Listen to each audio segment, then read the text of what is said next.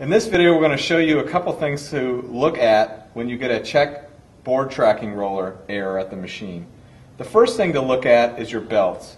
This machine has rubber belts, but if you have sandpaper belts, you need to look for sandpaper belt roll up.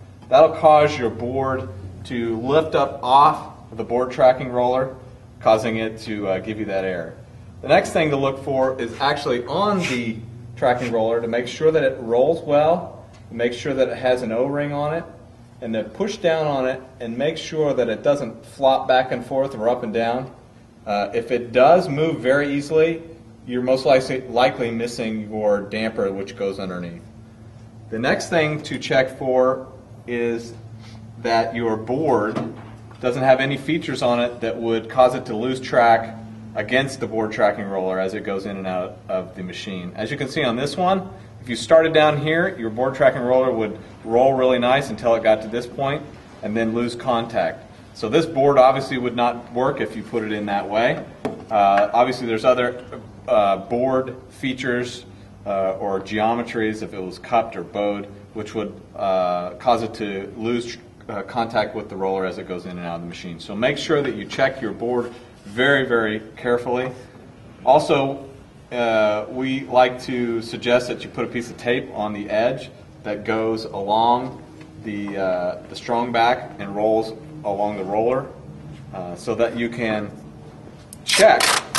So you can take a piece of tape, put it all the way along the edge, and if, especially if you're getting this air on a certain piece of wood, once it goes in and out, you can actually track the roller by its little teeth marks it leaves in the tape and see if it loses contact at any point along that board. That's a good way to tell you if your board is straight and, and usable.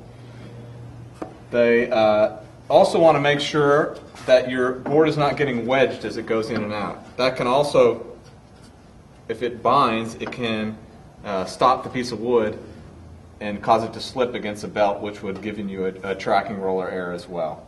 Another thing to look for, if your board is getting pushed out the back of the machine, spit out the back of the machine, is that most likely the back roller has sawdust up underneath it and it's it's not dropping. The roller's not dropping and the machine is not seeing the end of the board. So it just thinks that it, it, it is there's a much longer piece of wood in it.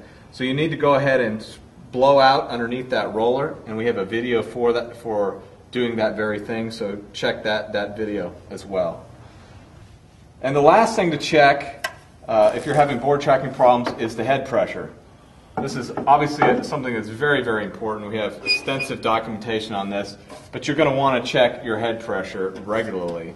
But if you don't have a high enough head pressure, it's entirely possible that uh, you're going to see board tracking issues. So with a, a scale, consult our videos and our documentation on exactly how to do it and what the head pressure should be for your machine and your rubber or sandpaper belts.